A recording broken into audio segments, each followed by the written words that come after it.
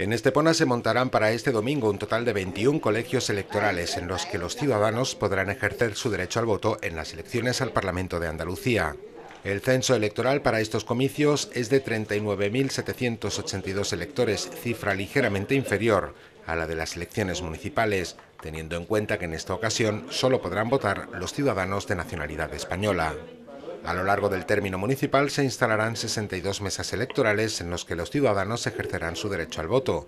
Los colegios se abrirán a las 9 de la mañana y se cerrarán a las 8 de la tarde. En la web municipal estepona.es los ciudadanos pueden conocer su colegio electoral introduciendo su número de DNI. La central de datos se situará en el ayuntamiento desde la cual se realizará un seguimiento de la jornada, la participación y los resultados al final del día.